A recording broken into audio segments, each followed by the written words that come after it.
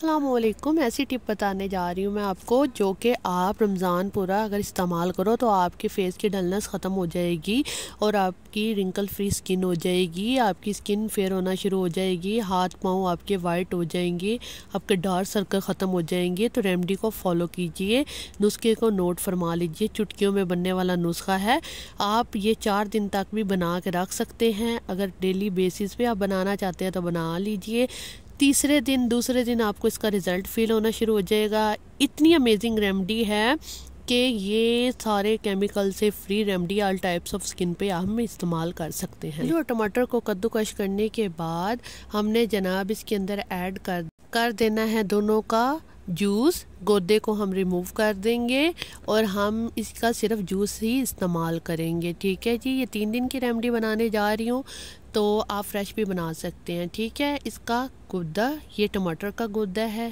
Juice अगर निकालना चाहें तो उसका जूस निकाल लीजिए, लेकिन ये गुद्दा चलेगा। लेकिन यहाँ पे हमने आलू का जूस ही लेना है, इसका गुद्दा नहीं लेना। ये देखिए जी हाथों की मदद से, इससे जैसे मेरी कज़न आपको दिखा रही है नचोड़ के, वैसे ही आपने दबा के इसका जूस निकाल लेना। ये देखें आलू का जूस। सही है? उसके बाद आपने क्या करना है? मीडियम साइज़ आपने लेना है टमाटर भी और आलू भी। नंबर थ्री, आपने स्मॉल साइज़ क्या लेना है? लेमन। लेमन को आप क्या करेंगे? इसके अंदर निचोड़ देंगे। लेमन का जूस चाहिए? एक लेमन पूरा। उसके बाद आपने इसे अच्छे तरीके से मिक्स करना है। मिक्स करने के बाद जो चौथी चीज़ हम ऐड करेंगे, वो भी बड़ी यूनिक सी है। वो भी आपकी स्किन को ना सिर्फ़ लाइट करेगी, बल्कि ब्राइट करेगी। आपकी जो डार्क स्पॉट होंगे, आपके जो नकल्स ब्लैक होंगे, गर्दन काली होगी तो आपके बिल्कुल वाइट होना शुरू हो जाएगी। मिसाज करेंगे 25 मिनट तक इसको बनाने के बाद।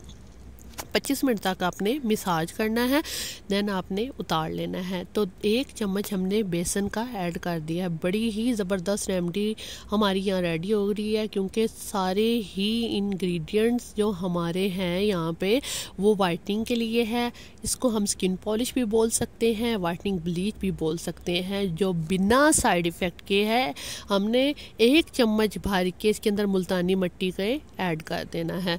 उसके बाद अच्छे तरीके से इसे मिक्स करेंगे मिक्स करने के बाद हम इसी फॉर्म में आ जाएगा कि ना ये गाढ़ा होगा, ना पतला होगा। अगर आप गाढ़ा चाहते हैं तो ऐसे रख लीजिए। अगर आप पतला चाहते हैं, थोड़ा के गुलाब या दूध ऐड कर देना, ठीक है? हमारी रेमडी मुकम्मल हो चुकी है। आप इसे हाथों, पाँव, गर्दन फेस पे लगाइए 25 मिनट तक और बाकी जो बच जाए, उसे रख दीजिए। रखने के लिए आपने क्या करना है? मुल्तानी मिट्टी आप ऐड करके नहीं रखेंगे, क्योंकि ये खुश्क हो जाएगी। मुल्तानी मिट्टी के बिना ही आपने डेली बेसिस पे आप मुल्तानी मिट्टी ऐड कर दिया करें। बना लो तो क्या ही बात है। फ्रीज़र में ये ख़राब नहीं होती, ये रेमडी ठीक है। उसके बाद आपने अच्छे तरीके से इसे जज़ब करना है। जज़ब करने का मकसद ये है कि हमारी डलनेस रिमूव हो जाए स्किन फेयर हो जाए। जो केमिकल्स होते हैं, कभी भी उसे स्किन में जज़ब नहीं करते, ठीक है?